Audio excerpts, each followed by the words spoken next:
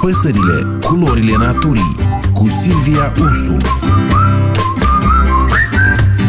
Astăzi vom vorbi despre una dintre cele mai mari bufnițe care se întâlnește la noi, buha mare, sau numele ei latin, bubo bubo.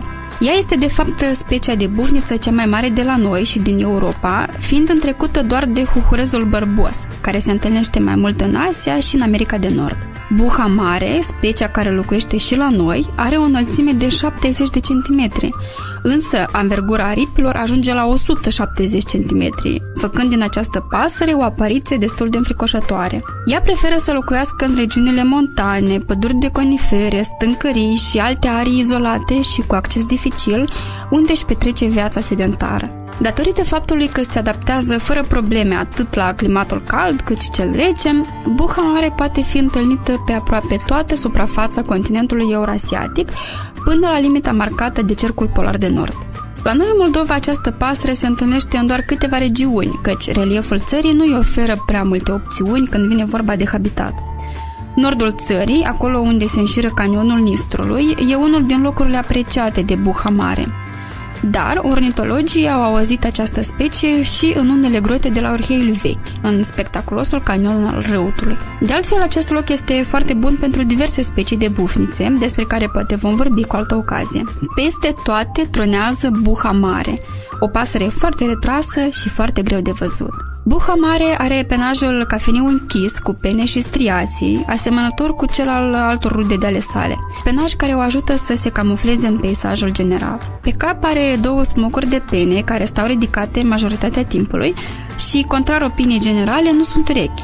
Urechile sunt reprezentate de orificii situate pe părțile laterale ale capului și sunt acoperite de pene. Auzul buhei este excepțional, conductele auditive fiind foarte dezvoltate. Se consideră că smocurile de pe cap ajută pasărea să se camufleze mai bine, ajutând la crearea imaginii de creangă atunci când se odihnește ziua prin copaci. La fel ca majoritatea rudelor sale, buha mare este activă noaptea, vânând mamifere mici, în special rozătoare, sau păsări de diverse dimensiuni, reptile, anfibieni, uneori pești. De obicei închide prada întreagă, iar resturile de hrană sunt eliminate sub formă de ingluvii, niște cocoloașe care conțin părți nedigerate, precum unghiile, oasele și blana animalului mâncat. Aceste ingluvii ajută specialiștii să identifice zonele unde buha mare poate locui și animalele cu care se hrănește. La fel ca multe alte bufnițe, buha mare este foarte folositoare și are un rol important în rețeaua trofică a unui ecosistem. Se estimează că anual consumă 10.000 de șoareci, care, dacă s-ar înmulți necontrolat, ar dăuna culturilor agricole și ar ajuta la răspândirea multor boli. Ca la orice altă pasăre de pradă, ghearele și ciocul sunt foarte puternice, având o forță de strângere și zdrobire impresionantă. Aceste dotări, alături de dimensiunile mari și de faptul că este activă noaptea, când alții dorm, au făcut ca această pasăre să nu prea aibă dușmani naturali. Puțini sunt cei care îndrăznesc să se măsoare cu ea. În schimb, omul, mereu înclinat către supranatural și ocultism, i-a atribuit acestei păsări aceleași conotații negative ca și tuturor bufnițelor. Zborul lor silențios, care le face să se ivească neauzit ca niște năluci din întuneric și sunetele lor răscolitoare, preluate de la ecourile stâncăriilor pe unde își fac veacul, i-au făcut pe oameni să țese în jurul bufnițelor mari aceleași asocieri cu spiritele morții sau cu duhurile necurate curate. Totuși, dacă este lăsată în pace, pasărea este cât se poate de inofensivă, preferând să-și facă veacul prin scorburi și peșteri și scoțând din când în când sunete prin care comunică cu semenii săi sau transmite tuturor limitele teritoriului său. Astăzi, buha mare se întâlnește tot mai rar. Prezența ei într-o zonă ține foarte mult de disponibilitatea hranei. Acolo unde sunt populații de rozătoare, ca de exemplu șoareci și șobolani, Buha mare se instalează comod și chiar continuă să locuiască an la rând.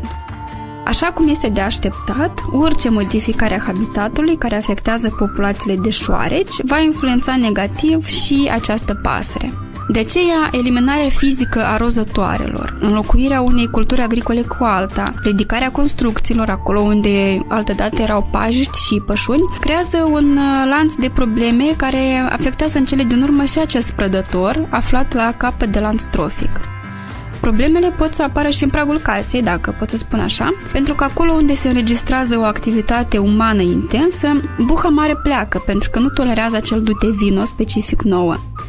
Expansiunea noastră în habitatele preferate de ea va însemna că această pasăre va găsi tot mai greu un loc unde să cuibărească și în consecință populația poate înregistra un declin rapid în doar câțiva ani. Acestea fiind spuse, vă invit să vă informați și pe alte căi de această pasăre deosebită care locuiește și la noi. Este greu de văzut, însă asta nu înseamnă că e mai puțin importantă decât alte viețuitoare din fauna noastră. Dar dacă ajungeți la orheiul vechi, nu uitați să priviți atent prin grotele din stânci. Poate reușiți să o vedeți. Și nu uitați că nu aveți voie să deranjați sub nicio formă locul în care poposiți. Lăsați în urmă doar pași și luați cu voi doar amintiri plăcute. Păsările, culorile naturii cu Silvia Ursul